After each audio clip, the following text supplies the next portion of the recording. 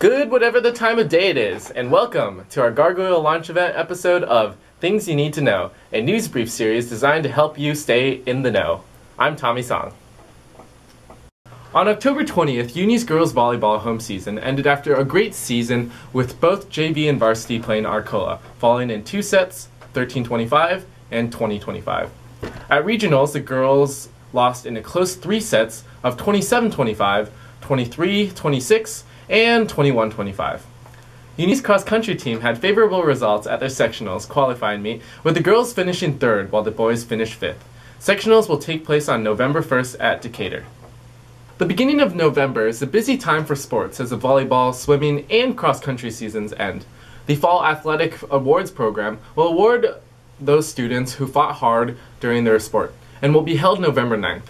This means a well-deserved break for those athletes. But for those of girls and boys basketball, the winter sport fun is just beginning for you. In track runners, don't forget that those January practices are just around the corner.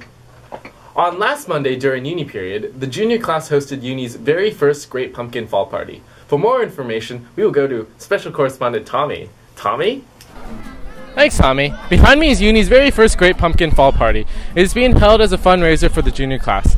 Advertisements for the event has occurred throughout the week, from posters to emails to the dra- giant pumpkin in the first floor hallway. A variety of activities are being offered, from apple bobbing to musical bales to pumpkin painting. To top it off, there is a pumpkin carving contest where an award will be given to the best in show.